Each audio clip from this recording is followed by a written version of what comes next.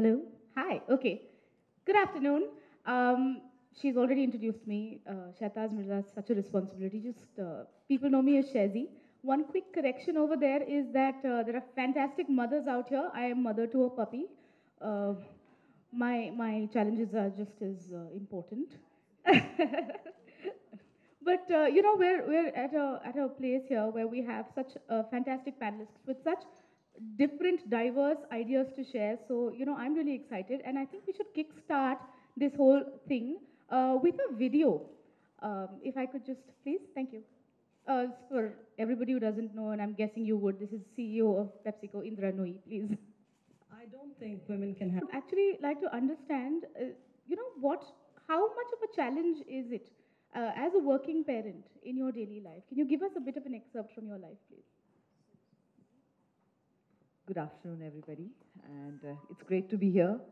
Nice to see you all, and uh, I'm sitting on a panel of extremely talented women here. Uh, my day is pretty normal in, in, in a lot of uh, ways. Uh, it's the same thing, like what she was saying. Uh, am I being the mother, the wife, the daughter-in-law, daughter, or the sister, the friend, or just me at some point. So uh, uh, at, there are times when in the day when I get lost being all sorts of other, playing all sorts of these other roles, which are not the roles I played in my career, but they're all there. And uh, then there are times, then there's that one bit of time where you, I dig out and find some time, which is my me time, which for me has turned to be my coping me mechanism, as uh, she was saying, which has been my me time. Uh, the guilt factor is also true. It does come in. I think we are all kind of conditioned to it. It's in our DNA, it's in our subconscious to be guilty about uh, a lot of things. As mothers, we feel guilty. As daughters, we feel guilty. I think somewhere as women, this is kind of in uh, in our upbringing or in our subconscious of as a society itself that even if we are too happy, we start feeling guilty about it. You know, literally.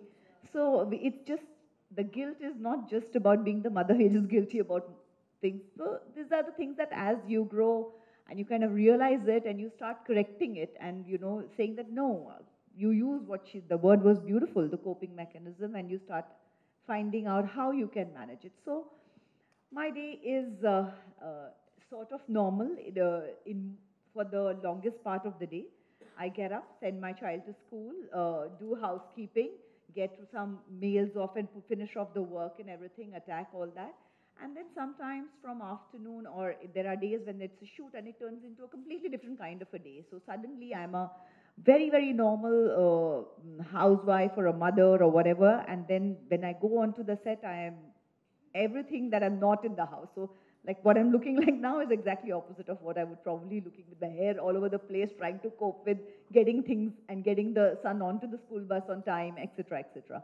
So uh, in certain ways, it's very similar to any normal woman, and uh, in certain ways, it's not. So uh, both of that is kind of uh, a North Pole, South Pole uh, situation for me, where my profession calls me to be uh, calls me to look a certain way, and, and you know when you look at the pictures and you get a feeling that oh, this is a glamorous life, and this is so everything is so perfect and everything, and you just realize that nothing is ever perfect and uh, behind the glamour, there's a lot of hard work.